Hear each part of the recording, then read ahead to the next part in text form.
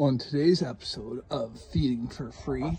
Here we've got some pansies or violas. Uh, I always get them mixed up, but either one is a safe feed. You can tell due to the leaves that drain inside themselves, the purple flowers. Today I'm just in a friend's yard. Any friend's yard that I ever end up in, I'm always taking a scour through. We have dandelions. We have more pansies. We have tons of dandelions. You can tell they're dandelions due to the uh, spade or triangle shaped leaves, as well as the yellow heads, the taproot, and how they always grow from the middle. Here, this one shows a little bit better how it grows from the middle there. That's how you can tell it's dandelion. Uh, on the no feeds list, wild lettuce the prickly spikes at the bottom, how it grows from the middle, how it looks like dandelion, but it isn't. It is not dandelion. Look at the curvatures and inconsistencies of the leaf. Uh, I refer to the Tortoise Table app or .org to reference why uh, wild lettuce is a no feed. I believe it has something to do with the uh, like oxalates or oxy, oxalic acid or something along those lines inside of it that is harmful to a tortoise's mouth. Uh, quote me if I'm wrong. I would love to hear otherwise. Please, as you can see here, we have the word diner. That is short for Dash's Diner. My friends are super supportive of my tortoise feeding and picking.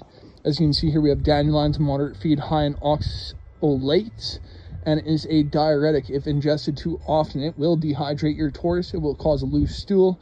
Please do not feed it much more than weekly unless necessary.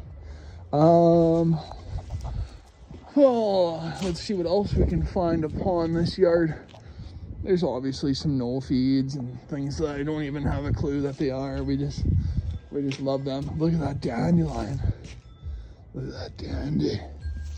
It's a nice dandelion. Oh, here we got some henbit. This is an occasional feed, monthly or weekly, uh, roughly, not daily. So I grabbed a handful of that, stuffed it in my pocket.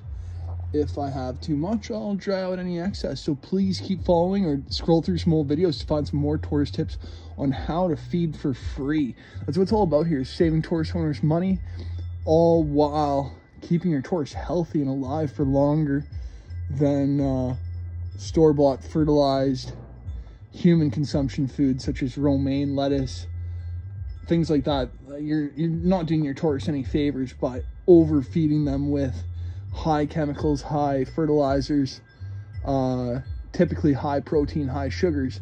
They need a diet of high carbohydrates or i'm sorry low carbohydrates high fiber low sugar and high calcium as always is beneficial as well. So just in a friend's yard like this, it's slightly overgrown, we'll say. And uh, it's crazy what you can find with a quick glance. There's more henbit there, an occasional feed. There is uh, what appears to be clover there, but I have clover at home, so I'm not, not picking any from here. Out front, they typically have broadleaf plantain, bellflowers, cornflowers, but uh, nothing sprung up yet. So hopefully stay tuned for more uh, episodes of the feed for free. And uh, I hope to save you all money. So please hit that link and subscribe. Your pal Hobson Scotch signing out.